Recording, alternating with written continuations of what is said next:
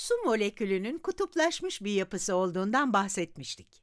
Molekülün bir tarafı kısmen negatif yüklüyken, diğer kısmı da kısmen pozitif bir yüke sahiptir. Bu durumun hidrojen bağlarını oluşturmasından ve hidrojen bağlarının da suyun kendine has eşi benzeri görülmemiş o muhteşem özelliklerinin ana sorumlusu olduğu hakkında da konuşmuştuk. Bu videoda suyun bu önemli özelliklerinden biri olan çözücülüğünü anlatacağım. Evet, su bir çözücüdür. Bu bazı maddelerin suyun içinde kolayca çözülebilmesi anlamına gelir. Bu çok ama çok önemli bir olaydır.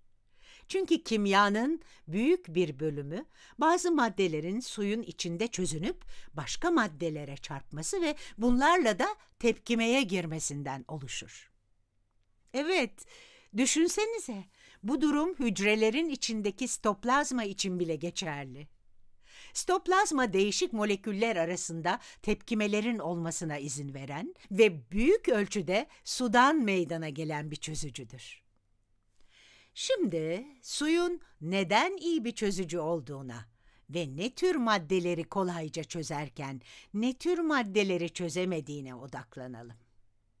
Az önce de söylediğim gibi suyu birçok madde için iyi bir çözücü yapan şey kutuplaşmış moleküler yapısıdır. Mesela bir miktar sodyum klorür yani sofra tuzu alıp hemen yazıyorum. NaCl sodyum klorür. Evet, sodyum klorür iyonik bağları çok sever. Burada gördüğünüz sodyum pozitif yüklüdür çünkü kararlı hale geçmek için bir elektron verir. Klorür ise başka bir renk kullanalım şimdi.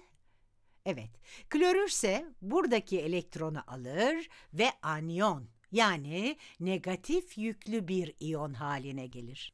Bu pozitif, bu negatif yüklü olduğu için ikisi arasında çekim vardır ve bu çekime iyonik bağ adı verilir. Sodyum klorürü suya koyduğumuzda hepimizin daha önce gözlemlemiş olduğu çok ilginç bir şey meydana gelir. Ve sodyum klorür suda çözünür. Neden mi? Hemen çizelim. Bu sodyum pozitif yüklü. Bu da negatif yüklü klorür. Şimdi sizce bunu suya koyduğumuzda ne olur? Evet, bunu suya koyarsak ne olur? Su molekülünün bu tarafı negatif yüklü olduğu için sodyum iyonuna çekilir. Oksijenleri çiziyorum. Oksijen, oksijen, oksijen, oksijen. Sadece fikri anlamanızı istiyorum. Onun için de ölçekli bir çizim yapmıyorum. Evet, su molekülünün bu tarafı negatif yüklü olduğu için sodyum iyonuna çekilecek. Hidrojenden oluşan tarafı ise kısmen pozitif yüklü olduğu için sodyum iyonu tarafından itilecek. Evet, ortaya buna benzeyen bir durum çıkacak. Ve burası yani dış kısım kısmen pozitif yüklü hale gelecek. Sonra da bu hidrojenler her zaman yaptıkları gibi diğer su molekülleriyle hidrojen bağlarını oluşturacaklar. Şimdi tekrar edelim. Sodyum bir iyon. Yani bu da yüklü olduğunu gösterir. Su moleküllerinin negatif tarafını kendisine çekerek suda kolaylıkla çözünüyor. Şimdi bir de klorüre bakalım. Sodyumda olana benzeyen bir durum klorür için de ortaya çıkacak. Negatif yüklü iyona anyon denir. Kendime yer açmak için ekranı biraz kaydırmam lazım. Evet. Klorür anyonunu da biraz kaydıralım. Hatta buraya taşıyalım. Çok güzel oldu. Ha ne diyorduk? Klorür anyonu negatif yüklü olduğu için su moleküllerinin pozitif yüklü tarafını çekecek. Ve kısmen pozitif yüklü hidrojenler klorüre yaklaşacak. Bu da kısmen negatif yüklü olan oksijen. Bunlardan istediğimiz kadar çizebiliriz. Hidrojen, hidrojen, hidrojen buna çekilecek. Burada oksijen var. Aynı renkleri kullanalım. Evet, çizimdeki ölçeğim pek iyi değil ama siz fikri anladınız. Hidrojenler oksijenlerle bağ kuruyor ve diğer uçta yani kısmen pozitif yüklü olan kısımda klorür anyonu tarafından çekiliyor. Evet, tüm buraları kısmen de olsa pozitif yüklü. Dış kısımda ise negatif bir yük var ve bu negatif yük her zaman olduğu gibi diğer su molekülleriyle bağ kuracak ve burada çok temiz bir akış olacak. Tuzu yani sodyum klorürü suya attığımızda ne oluyormuş?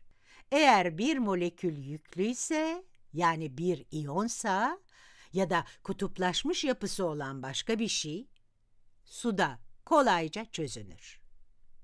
Bu olayda su çözücüdür. Evet, bu olayda suya çözücü denir. Ve suda çözünen maddeye de çok farklı bir şey gibi gelmeyecek ama çözünen denir. Yani bu örnekteki sodyum klorüre hatta ayrı ayrı sodyum ve klorür iyonlarına da çözünen denir. Kısacası yüklü ya da kutuplaşmış yapıda olan maddeler suda kolaylıkla çözünür diyebiliriz. Suda kolaylıkla çözünen yüklü ya da kutuplaşmış yapıda olan maddelerin bir de daha havalı bir ismi var. evet evet.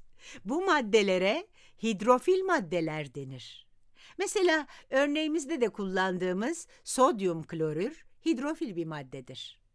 Kelimenin yapısına baktığımızda hidro su, fil ise sevmek anlamına gelir. Evet.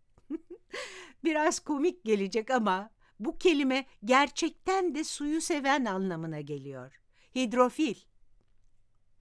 Buraya kadar her şey tamam.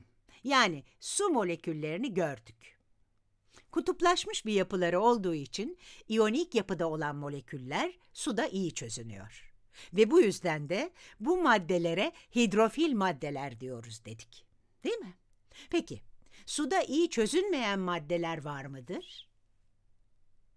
Az önce söylediklerimin tersi olarak yüklü ya da kutuplaşmış yapıda olmayan maddeler suda iyi çözünmez. Bu maddelere verilebilecek örneklerden biri hidrokarbonlardır. Mesela yakıtların ana maddesi olan heksanı ele alalım. Heksandaki hek altı karbonu temsil ediyor. Bakalım. Tamam başka bir renk kullanayım. Bir, 2, 3, 4, 5 ve 6 tane karbon. Diğer tüm bağlarsa hidrojenli olacak. Evet, elimden geldiği kadar çizmeye çalışıyorum. Karbon dört tane bağ kurar. Hidrojen, hidrojen, hidrojen, hidrojen, hidrojen, hidrojen, hidrojen. Ve işte karşınızda heksan. Gördüğünüz gibi hidrojen bağı kurmuyor ve kutuplaşmış bir yapısı yok.